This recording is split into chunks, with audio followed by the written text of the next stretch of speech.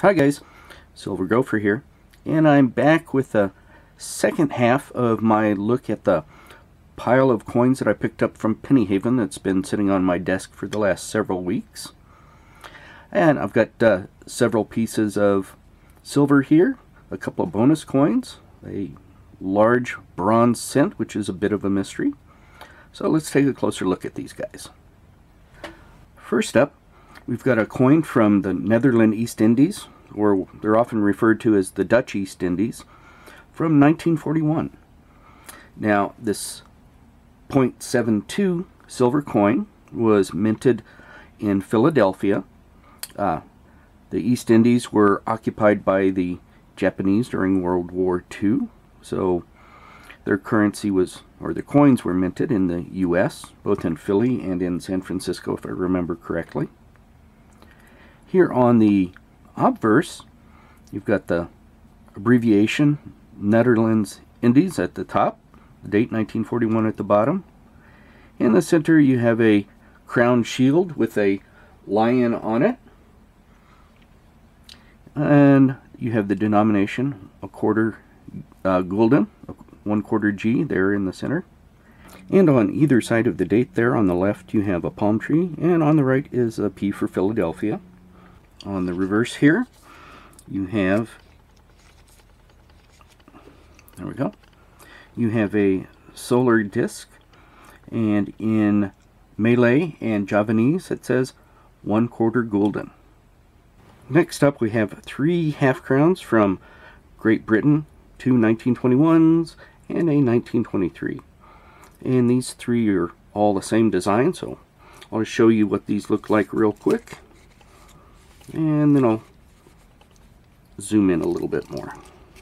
So as I mentioned here on the obverse is George V and around the coin it says George V by the grace of God King of all the Britons.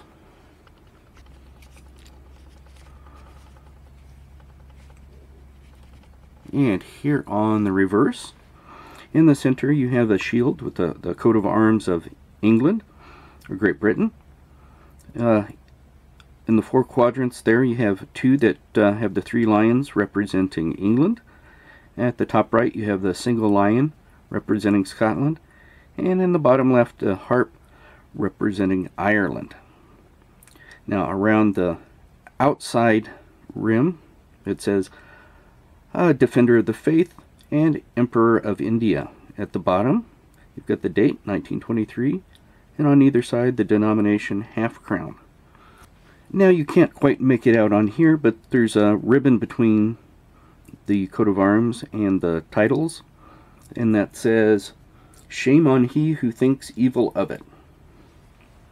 Now this is 0.8, uh, 0.5 silver, it's about the same size as a US half dollar, and it weighs in at 14.14 grams. Now first up of the bonus coins that I got from Penny Haven is this 1926 sixpence from Great Britain. Here on the obverse, you've got George V again, and it says George V, by the grace of God, King of all the Britons. And then here, on the reverse, you have the lion on the crown. At the top, it says Defender of the Faith, Emperor of India, sixpence at the bottom and the date 1926 on either side of the crown.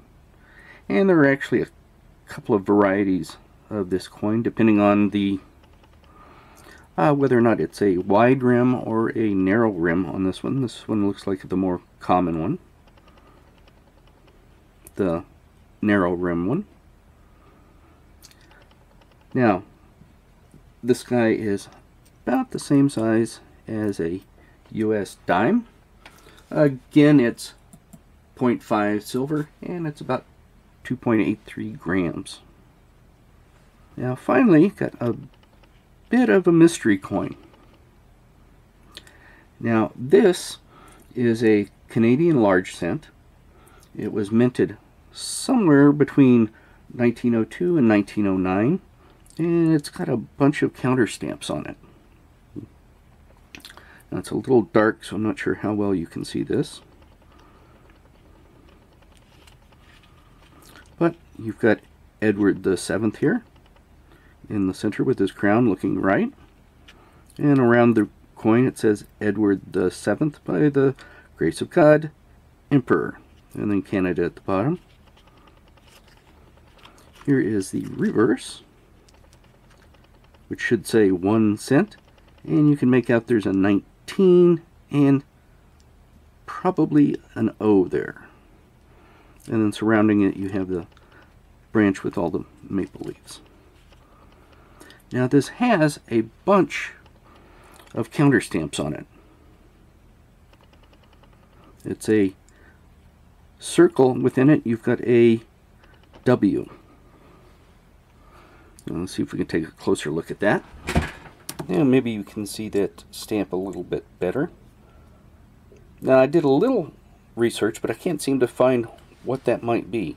It doesn't look like it's, you know, just a simple letter punch, because it wouldn't have that circle around it, you wouldn't think. It looks more like an emblem. Now, the only thing that I found that was close to that was this logo from Westinghouse back between like 1920 and 1940.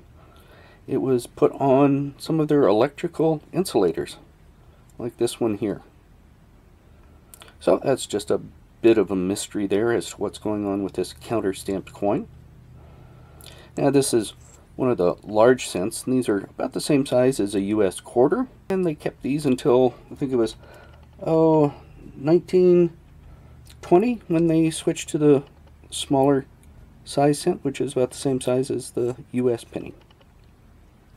Now, I want to thank Penny Haven for these cool coins, and thank you guys for watching. And a quick reminder that if you want your subscription to stick, it looks like you need to leave a comment.